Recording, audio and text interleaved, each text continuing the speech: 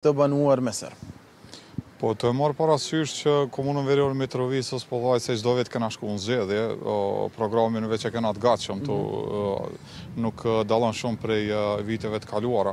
Na qysh kena premtu edhe herat e kaluara kena mu si Lëvizje Vetëvendosje, unë si kandidat, kena mu koncentru në aspektet e qeverisjes lokale, Duke marrë parasysh që Komuna Veriore e Mitrovicës ka ka ka ka bë historikisht një një diskriminim shumë të madh për komunitetin jo serb, domethënë kjo është diçka që vrehet shumë lehtë.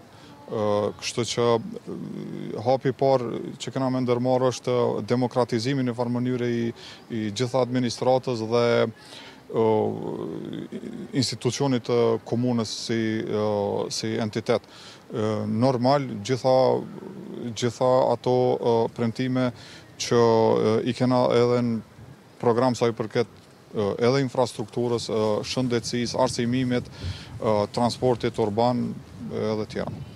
Zonjusha Mane, cili është një plan fillestar, një projekt fillestar, ose disa premtime që ju synoni t'i realizoni nëse sigurisht do të keni besimin e qytetarëve. Para se të shpalos programin qeverisës, unë ma s'pari kisha me thonë se ne jemi iniciativë qytetare dhe nuk jemi të fokusuar as të në asnjë kombësi, as të jo vetëm të, të shqiptarë, se në mhm. listën tonë kemi edhe komunitetin boshnjak, po ashtu kemi ofertë, domethënë edhe shpresojmë në, në zgjedhjet e kalumet që të përfshijmë edhe komunitetet tjera, siç është edhe i, i komunitetit serb. Mhm. Ne jemi iniciativë qytetare ku Fokus ose numër një është qytetari, jo partitë politike siç e kanë udhëheqë tani e njëzet e katër vjet veriun e Mitrovicës.